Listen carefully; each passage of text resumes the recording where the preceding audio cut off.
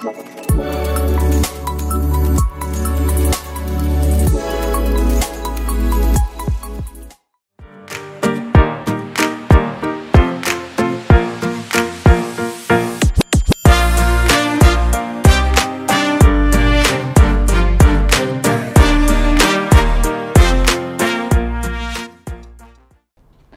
boys and girls and welcome to another lesson of Science in Daily Life in the grade 9 classroom.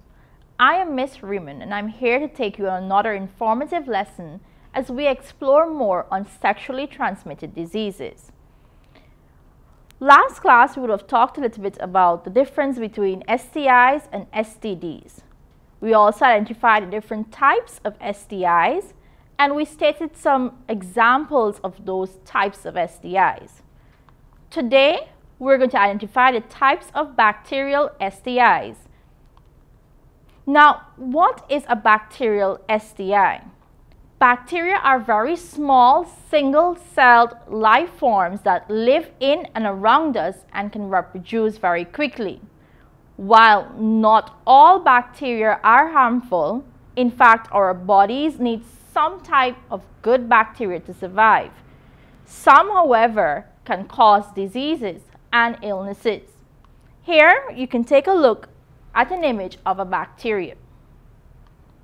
Now, in order to survive and develop, most bacteria use organic matter, that is, our bodies, as food and warmth.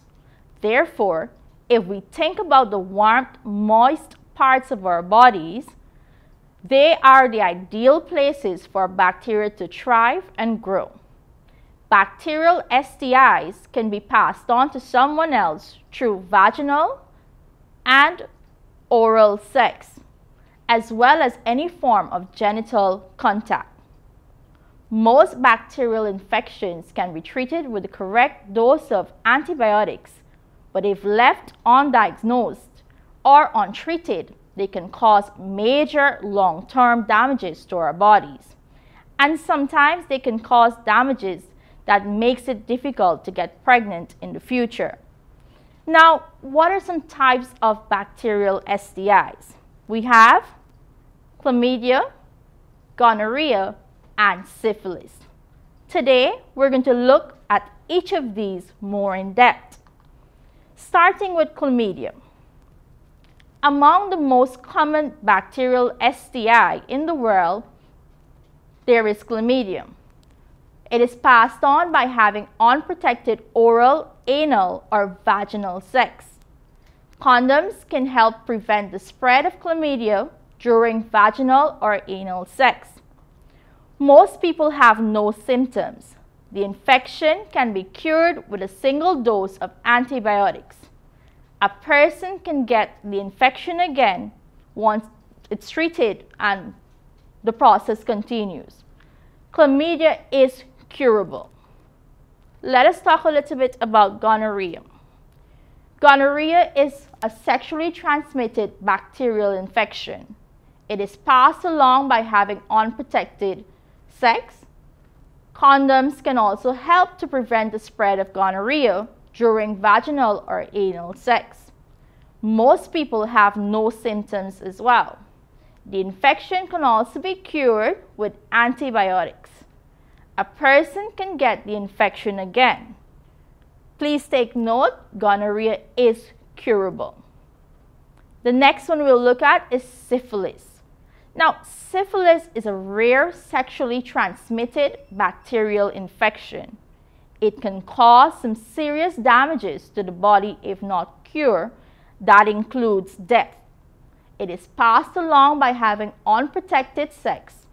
Condoms can help prevent the spread of syphilis during any sexual activity. Syphilis also provides a wide range of symptoms that are often confused with other illnesses.